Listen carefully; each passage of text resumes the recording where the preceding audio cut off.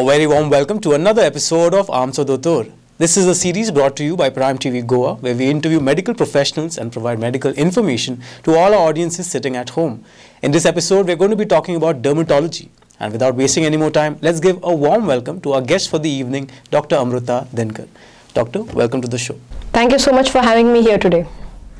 Dr. Amruta Dinkar is a consultant dermatologist and cosmetologist practicing for the last seven years at Vision Hospital in Mapsa and also at RG Hospital in Porvorim. We are grateful to have her here with us in the studio today, giving valuable information to our audiences sitting at home. Without wasting any more time, let's dive right into the questions. So, Doctor, before we get into the medical part of things, we'd love to know, our audiences actually would love to know what drove you towards getting a career or pursuing a career in dermatology. Okay, so what a lot of people may not know is actually skin is the largest organ of the body. And because it is the largest organ, a lot of diseases manifest on the skin first. So being a dermatologist allows you to deal with a different variety of conditions, you know, not only cosmetic but also systemic diseases would manifest on the skin in different ways. And we are treating pediatric patients, we are treating children, we are treating young people as well as the elderly. So it really gives you a very um, rich uh, variety of experience and i think that is what drew me to dermatology. Thank you doctor. Is there an area of specialization that you pursued in dermatology I have a keen interest actually in uh, hair fall and acne. This is something that I encounter in my practice a lot, and uh, they're very common problems in Goa, at least where we are located. Given the humid weather, there's a lot of acne as well. So, this is something of keen interest. And I also have uh, done a lot of work in allergies. So, doctor, you told us a little bit about uh, what exactly it is that a dermatologist does. You said you deal with, or rather, you're passionate about dealing with a lot of uh, skin-related and health-related issues. What, according to you, is healthy skin? So healthy skin actually Vibhav is a this is a very broad term. And it is uh, it's really a journey. I wouldn't say it's a goal. Nobody can have completely healthy skin and uh, it's it's a process. But essentially healthy skin would be one which is free of skin diseases and you know more than healthy skin I think one should focus on a healthy body and a healthy mind which would reflect then on the skin. Basically inner beauty shows what are some habits that can be detrimental then to healthy skin? Okay, so in, in the kind of life that we live at the moment, in the fast paced life that we live, the first thing that would impact you is what you put inside and what is coming into you know in contact with your skin outside. So it's your internal environment and your external environment. So the kind of food that you eat. So right now we we have you know i mean uh, the delivery uh, apps that are there for food while they're doing their own bit of good they're also doing a bit of negative. There's so much of outside food that we eat processed foods uh, uh oil rich foods. So these are things that we need to cut down on. Refined sugars they impact your skin in a bad way. They promote aging. They're also promoting uh, diseases autoimmune diseases like psoriasis or even diseases like acne. So that is something to think about. The pollution and the, the polluted environment that we are in uh, on a daily basis this also impacts you know your skin health sun exposure impacts your skin health. I mean, the list is endless, but I think these are the top things that would. So it's not just about what goes on inside; it's also equally uh, what goes on outside. Absolutely, and you'd be surprised. It's also a lot about what goes on in the mind. You'd be surprised. So many skin diseases are definitely impacted by stress or have a direct, you know, they, they are called psychosomatic diseases also. And they, there are diseases that would manifest on the skin in moments of stress. So doctor you spoke about how food actually impacts our skin health. So are there any good foods that you would recommend that would promote good skin health? Yeah absolutely. So uh, i would say stick to healthy home cooked food okay? Uh, for people that have acne or people that have uh, you know uh, certain again autoimmune diseases having less processed foods having raw foods a good amount of vegetables and fruits in your diet. And i always say seasonal variations you know. So if, if it's mango season for sure you could go and have a few mangoes. If it's going to be say winters then make sure you have your berries. You're going to get your antioxidants through berries. Make sure you have a good amount of vitamin c in your diet. Vitamin c has a very important role to play in healthy skin make sure to have dry fruits have your you know beetroot. Dates have a very important role to play in hair fall control and hair regrowth. So I, I, would say that it's it's not one fixed rule. Meditate in moderation we all like to have a bit of fun. So you know the occasional outing and a bit of even junk once in a way is tolerable it is not a bad thing but try and have a good amount of home cooked healthy food good amount of fruit vegetables and hydrate well. Make sure you drink enough of water every day. So doctor you spoke quite a bit about how seasonal foods should be preferred. Yes. We live in a very temperate uh, location here in goa. It's quite hot yes. for most parts of the year except right. for maybe a few months of monsoon. It's pretty uh, it's humid yeah it's humid yeah So, are there any skin conditions that arise because of the kind of weather that we're exposed to? Yeah, this is a very interesting question that you asked. And uh, in fact, if you maybe had the same conversation with a dermatologist in Delhi, you would probably get a very different answer. Yeah. The humid weather promotes fungal infections.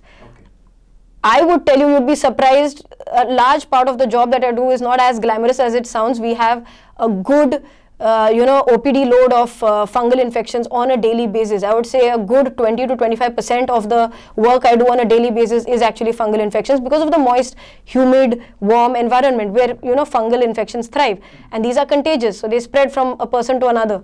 So that is something that I see frequently. Acne I see a lot of you know because of the humidity again and one tends to sweat the you know especially with oily skin types. I do see a lot of hair fall as well and i feel this has a lot to do with diet and lifestyle. So i think this, these are the top common things i see. Okay. So doctor you said that quite a lot of your patients seem to come with the same issue. Uh, do you actually create customized skincare routines for them or is it one size fits all kind of a deal? It's definitely not one size fits all.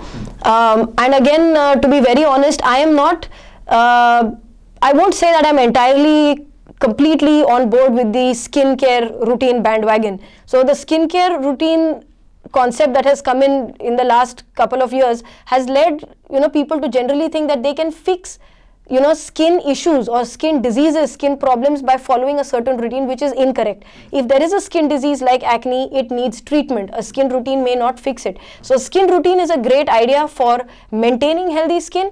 And yes i do individualize it. I i don't uh, it's definitely not one size fits all and maybe for someone with acne one would include say salicylic acid or say for you know somebody who's looking for an anti-aging skincare routine i would definitely include retinol but it, it varies from patient to patient doctor what are some of the common misconceptions about skincare that you hear around your patients Okay, vitamin C. Let's start with that. I, I have a lot of people who are big fans of vitamin C, and you know they are they are patients of acne who are using vitamin C, which is a mistake, and they think they're you know doing themselves a service by using vitamin C. While vitamin C is not to be used in acne-prone skin, it tends to worsen acne. So that's the first thing. The second thing is this concept of layering. Everybody wants to put four, five, six different products on the skin, and again they think they're doing themselves a favor, which they are not. In fact, in the kind of weather we are in Goa the less product you use, the better off you are.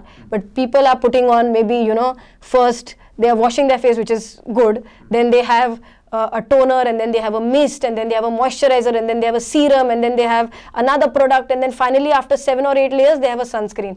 So this kind of a you know overdoing it is not good. Less is more so I think, yeah, these two things are what stand out. That was quite insightful, Doctor. I'm pretty sure a lot of our uh, viewers at home do go through this phase where they feel compelled to, you know, use a lot of makeup because pop culture promotes using a lot of. Absolutely. In fact, I just wanted to add to that, uh, Vibhav, actually. Uh, so one more thing that ends up happening with overuse of these products is damage to the skin barrier. So your skin is actually a barrier that prevents entrance of, you know, different germs or organisms into the skin. But when you use so many different chemicals and they may not not be logical combinations. They may be using actives like salicylic acid, retinol, vitamin C all together. It actually damages the skin. It makes you age faster. It causes breakouts. And then they end up coming to the clinic, you know, doctor, I've used all the right products. What's what has happened wrong? So I, I would encourage before anybody gets on a skincare routine, meet a professional, have it designed out for yourself. I think that's what happens with a lot of your patients, doctor. A lot of them tend to self-diagnose just by going online and just looking for all sorts of information online. They tend to self-diagnose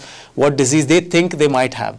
So I think uh, a general point of advice for all our audiences would be do visit your dermatologist and get rectified from a professional doctor. Don't please avoid self-diagnosing any kind of disease by yourself. Doctor, since we're talking about uh, mostly about Goan patients and the kind of common diseases that skin diseases that you'll see in Goa, are there any factors that one should consider while choosing a sunscreen in Goa? I'm very happy you asked that question. So, uh, a lot of my patients that come to me are actually patients with a combination to an oily skin type or they have acne prone skin and in Goan weather even normal skin I would recommend my patients to go in for a matte finish sunscreen okay and not to go for a you know a greasier and oilier base so this is something which is always mentioned on the sunscreen the kind of base it is in and you could choose accordingly generally if you're someone who's very outdoorsy and you know out and about a lot it helps to go for a a better sun protection factor. Now, this is a point I want to highlight. A higher SPF need not necessarily mean that the sunscreen is better for you. Okay, so SPF actually protects against ultraviolet B, and the PA factor. There's something called a PA factor which is written ahead of the SPF. That is what indicates the level of protection that the sunscreen affords you against ultraviolet A.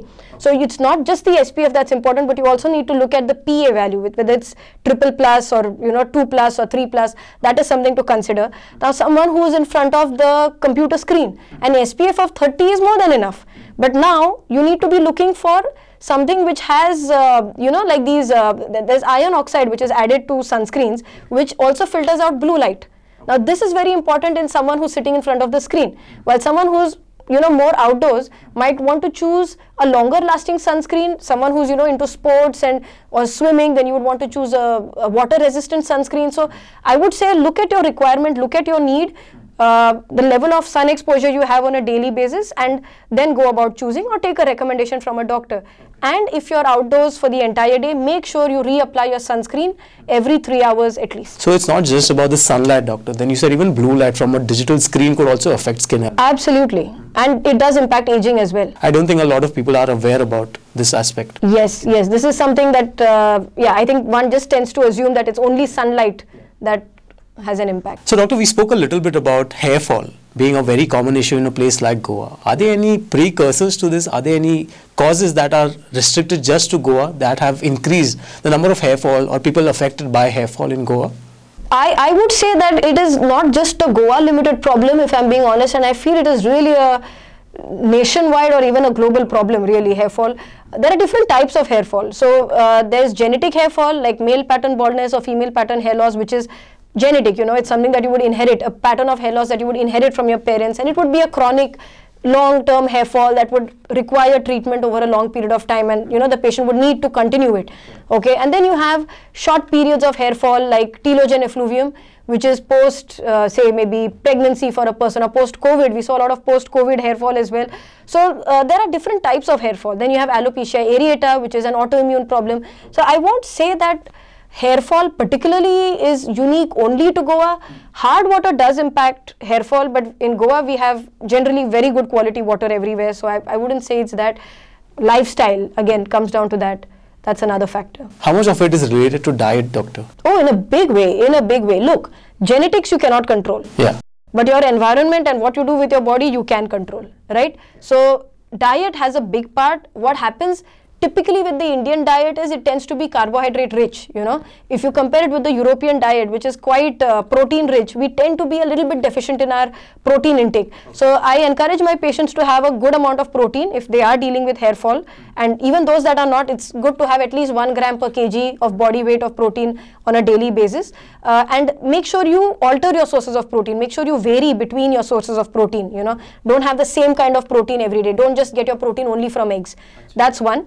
Uh, again a very you know uh, high consumption of alcohol or you know even smoking does impact hair but a good healthy diet rich in dry fruits green leafy vegetables would promote healthy hair. So, doctor, you highlighted that two main reasons for hair fall is one genetic and the second one is your diet. How important is physical movement uh, important for you know maintaining good hair? I feel it really comes in you know in part with the package Vibhav. We, we are looking at uh, lifestyle as a whole. Yeah. We're looking at diet. We're looking at you know good uh, exercise, whether it is cardio or weight training or you know some kind of a physical movement promotes blood circulation for sure. There are now, uh, I'm not uh, uh, an Ayurvedic practitioner, but I know that there are uh, certain asanas in uh, Ayurveda and yoga actually, which promote hair regrowth. So I, I feel it really is a complete package deal. I won't say, it would be incorrect to say that it is only a lack of physical exercise that would cause hair fall, but definitely having great physical exercise on a daily basis would promote healthy hair. What do you think are the psychological implications that one goes through when they have some or the other kind of skin or health disease? This is again very interesting, you know, that you should ask this. Uh, your skin and you know maybe a skin disease would impact someone's mental health and mental health would again impact skin disease that that's where it's very interesting uh, look someone who has maybe you know like a lung problem or a stomach problem of course they are suffering but you don't see it what happens with skin and hair is it's very visible you look at yourself every day you have people commenting on you on how you look so that definitely is a very big um, there is definitely a huge impact there's there's a lot of uh, burden in terms of uh, psychological impact in, in these conditions. Someone who has acne is not, you know, it would definitely take a toll on their self confidence. It would take a toll on how they present themselves to the world or how they perceive themselves to be. Now, this should not happen. We all need to remember that beauty is really from the inside, and it's of course easier said than done. I'm sitting here, I'm telling you things about how one has to feel good, but then that's the thing that how one looks definitely impacts. And uh, people that have say conditions like psoriasis or vitiligo which are not at all life threatening which have basically no should not have any impact on you know the health of a person but then the visual impact of it does does take a toll on on their mind. And i feel that a better acceptance of these diseases, a better awareness of the of these diseases, so that society does not, you know, uh, ostracize. Uh, ostracize them or you know have a certain perception or a view about them. These are not even contagious conditions, so there is no need to, you know, uh, treat someone with these conditions, especially like vitiligo. Uh, there's no need to treat these people differently. But I, I think a better awareness would help them feel better, and it would help us accept them as a society better as well. I agree, doctor. I think a lot of this has to do with pop media also about how the glamour industry, you know, tends to ostracize, like we said. Uh, you know, a lot of people with skin hair, skin health, or uh, you know, even hair health. A lot of them tend to be sh- shunned upon. So I think uh, the Bollywood industry, for example, has a lot to a lot to do with creating that image that you know, if you have good hair, only then you're good looking.